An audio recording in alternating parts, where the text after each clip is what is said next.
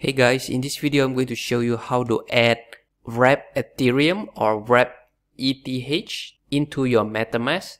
Now, first thing first, your MetaMask you need to download it. Once you download it, uh, it will be a Chrome extension right here. You will see at the top.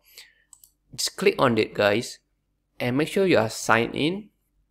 After you are signed in, if you don't see Polygon Network at the top, make sure you go to polygonscan.com make sure you go to polygonscan.com go to this website guys and scroll all the way down.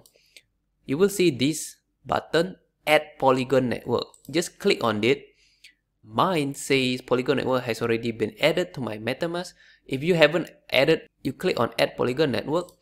Then you will see this polygon network show up.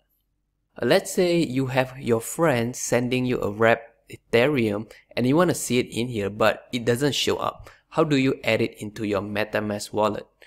What you can do is you can click these three dots and then view account in Explorer. After that, you will see the amount of money that you have in the wallet. So my friend sent me $20 worth of Wrap Ethereum. So I want to click on this view expanded ERC20 token holding.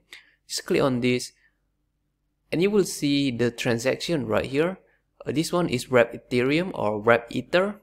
As you can see uh, this is worth $20 and I want to see this inside my MetaMask wallet. So what I would do is that I will click on my wrap ethereum. Just click on it.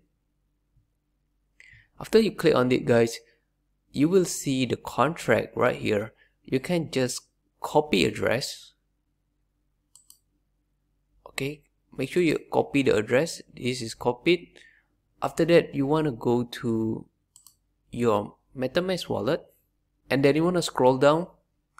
You will see this there is this link called import tokens. Click on it. And here you want to paste the contract address guys which is the token symbol wrath ethereum and token decimal 18 this is automatically fill in for you after you paste in the token address. You just want to add custom token. Then you want to press on import token. So right there, if we go back to account, you will see now we can see our wrap Ethereum or wrap Ether. Okay, you can see it right now. And that's how you can add your wrap Ethereum inside your MetaMask wallet.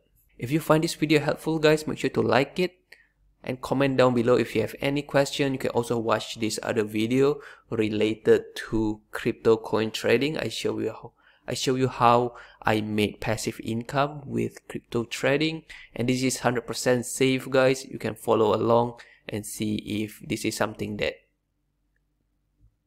interests you and we'll see you on the next video.